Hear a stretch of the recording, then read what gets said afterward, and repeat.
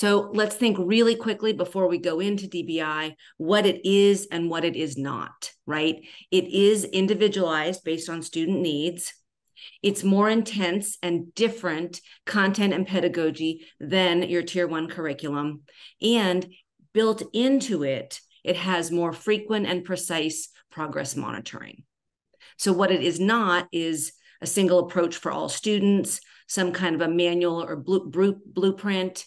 It's not any kind of a preset program. It's certainly not more of the same tier one instruction or more of the same supplemental instruction, right? Which is sometimes a trap we've fallen into, I think, both in RTI, MTSS land, and also uh, when implementing DBI.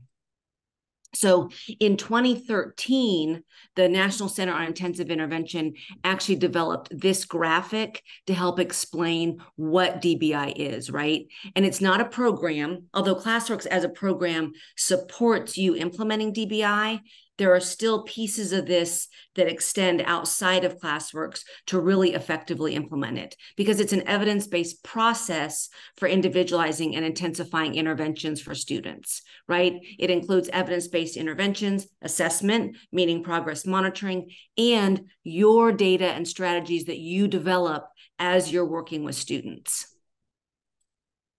So there are five steps to the dbi process. It starts with a validated intervention program. That could be standard protocol, that could be the problem solving model. For you guys, it's ClassWorks, right? That's your validated intervention program that you're using with students.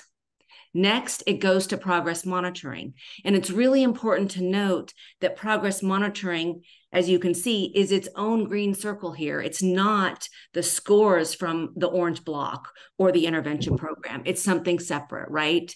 Then if you look, if you've got students that are not responding, right, then we go down and we need to gather diagnostic data.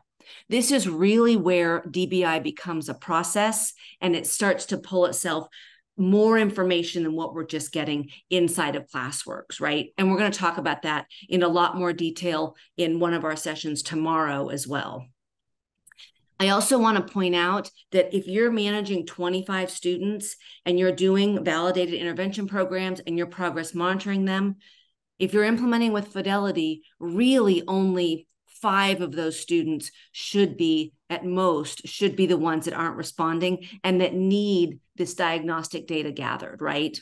So then once you've gathered all that diagnostic data that says hmm why aren't they responding? What is our challenge then you're going to make an adaptation to that valid intervention for the student. And again, we'll talk about this more tomorrow, but that adaptation is going to be something pretty minor that you're trying to do, right? You're not going to change everything for that student because it is a valid intervention program. And then, really important in DBI, you are going to continue progress monitoring, right? Because what you're hoping is I had four or five of my students out of 25 weren't responding. Now I'm making a change. Now, hopefully, we're going to see that they are responding and that progress monitoring will reflect that.